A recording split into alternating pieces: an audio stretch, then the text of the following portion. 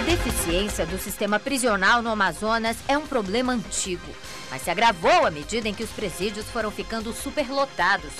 Detentos têm de conviver em condições subhumanas, em meio à sujeira, uma verdadeira calamidade. O motivo? Faltam cadeias públicas no estado. Também não existem policiais e agentes penitenciários suficientes para atender a demanda.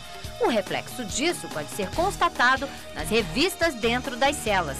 Celulares, armas e até drogas são apreendidas.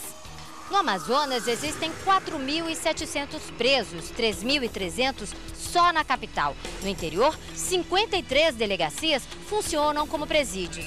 Em muitos distritos, existem mais presos do que há capacidade. E PMs e investigadores civis exercem a função de agentes penitenciários e até de delegados. As autoridades reconhecem o problema. Por causa da falta de efetivo da Polícia Civil, né, dos delegados de polícia, que no estado inteiro nós temos apenas 140 delegados aproximadamente. Isso é um efetivo muito baixo. Faltam também defensores públicos. E isso, somado à morosidade da justiça, faz com que os detentos esperem meses, anos, para serem julgados. A Defensoria Pública aqui no município não existe há vários anos. Isso é fator determinante para que todos os processos fiquem emperrados.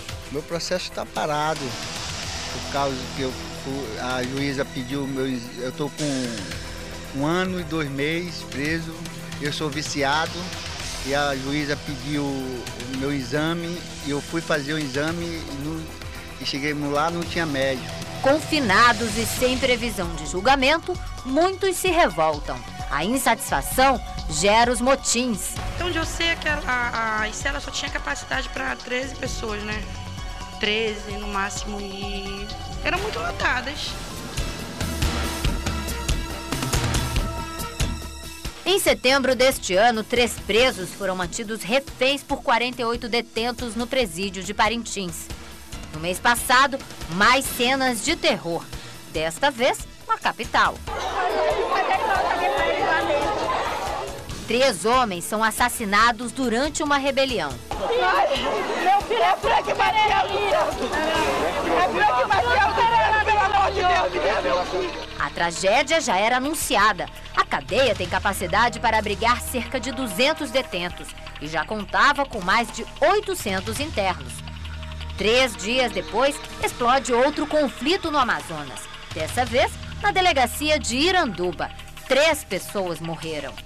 A Secretaria de Justiça reconhece a precariedade do sistema. Os recursos de Brasília não chegam para amenizar a situação. Falta gestão do Departamento Penitenciário Nacional. No caso do estado do Amazonas, nós temos projetos que há cinco anos eles estão paralisados no Ministério da Justiça, como, por exemplo, construção de presídio para jovem adulto do Pronace, que foi anunciado, e os recursos não foram liberados. Se faltam celas, se faltam defensores, se a estrutura em muitos locais é precária e se a justiça prende mais rápido do que é capaz de libertar, como avaliar o sistema carcerário no Amazonas? Será que é possível acabar com o caos e evitar novos conflitos? Quem são os responsáveis? Você acompanha amanhã na segunda matéria da série.